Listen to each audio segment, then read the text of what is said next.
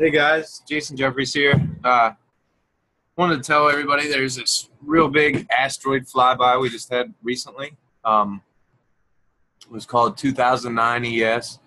It's about 100 miles wide, and it uh, definitely has the. It says the potential to go off with about three billion atomic bombs, enough to wipe out the world like it did when the dinosaurs came.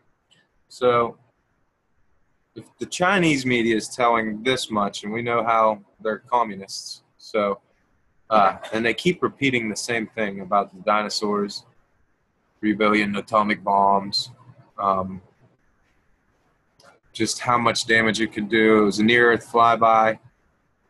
Uh, I wanted to show a couple things if I could. Here, there's the. This is uh, the data we could find on it. So they know its orbit. They're, they they try not to tell you too much about the orbit, but it appears here. I was looking down through the data.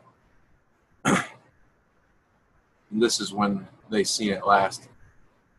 This is going to be the next flyby, right here, and it's right in our uh, little weird timeline we had there, 2017 October 18th.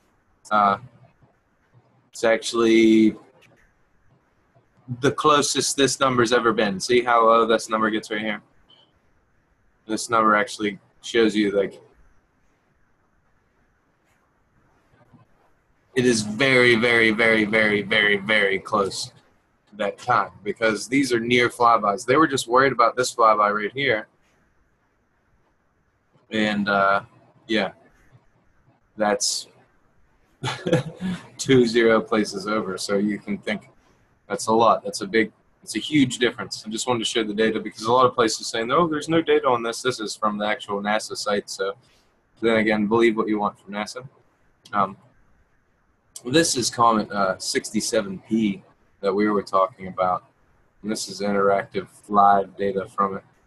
And uh, something cool. Thought you guys would like to check this out. But they're supposed to, they found pyramids on the bottom of this thing, like right here. So uh, they even said that it reminded them of Egypt, and they named it after certain places in Egypt. And the Rosetta camera, this thing right here, where this is where it's at, and it's just happens to be in between Jupiter and Mars, like we keep saying, and it's right where we, right where the comet is, right at 67p. So as we're coming in to September, we'd be in between this and the sun. You can see what I was saying there. So uh, just correlates with all the data. And we know that they like to make cover stories of everything. So something cool you can check out. It's all just uh, adding together. And yeah, so could it it just seems very very odd when you think about how they name the names I'd, I'd just encourage you guys to look all this stuff up yourself. Um, yeah, because there's a lot of information on it, and it seems that they're kind of finally doing that push on this information now that China, I mean, this is the nearest it's going to be ever predicted. So, and it falls right into the same timeline. Is this like the wormwood or whatever they were talking about? Who knows? But yeah, something that I just wanted to make you guys aware about. We're gonna be doing. Uh, I'll be uploading a couple more videos. I have um, continuations of earlier videos and also uh, a couple interviews I'm going to be sharing, hopefully with Dave Dobbs and uh, Joseph Reyna and a couple other people here soon. So uh, enjoy, guys.